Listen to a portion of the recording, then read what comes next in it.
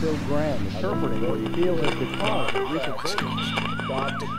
Sorry, Stop the do not racism. go out. Nowadays, everybody wanna save the planet, and praise goes to those who wanna raise the standard. Now, not to naysay, but they take for granted that everything is gonna go the way they planned it. Sickness, war, prejudice, hate, and famine. Stage enough protests and make it vanish. Pass enough bills and erase the damage, or just change your diet, eat sustained organic.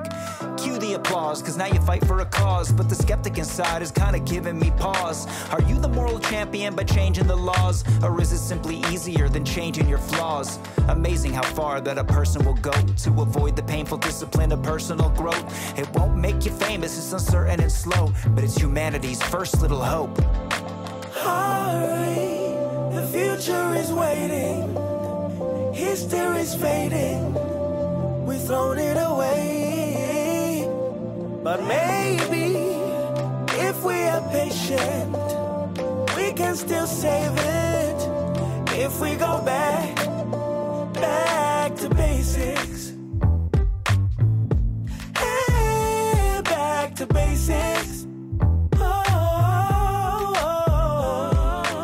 Nowadays, a new act of hubris. People thinking everything in the past is stupid.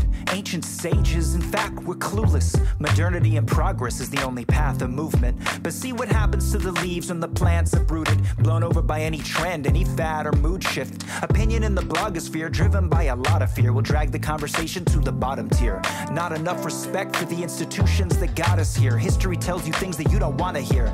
Ignore the past at your peril, the future will not appear. Your ideologies turn flat like bottled beer. You think you act smarter, and the old ways are backwater? Well, I don't know whether to cry or laugh harder. Not funny when utopias turn to manslaughter. I feel bad for my granddaughter, cause you're throwing out the baby with the bathwater. The future is waiting. History's fading. We've thrown it away. But maybe if we are patient, we can still save it. If we go back, back to basics. Hey, back to basics. Oh. Some people think power is politics. A Twitter account where millions follow it. Many say it's guns and an army you can conquer with. Others say money is the force that rules all of it.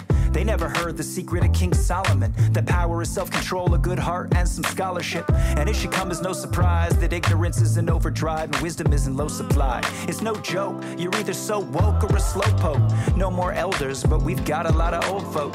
We should cry, but it's just a muffled gag. Only time we're humble is when we humble brag. Our fast paced machinations. We kept adding, but forgot the math equations. Kept making profit, but with the tax evasion.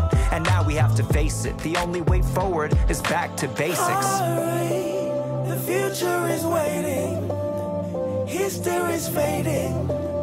We've thrown it away. But maybe if we are patient, can still save it. If we go back, back to basics.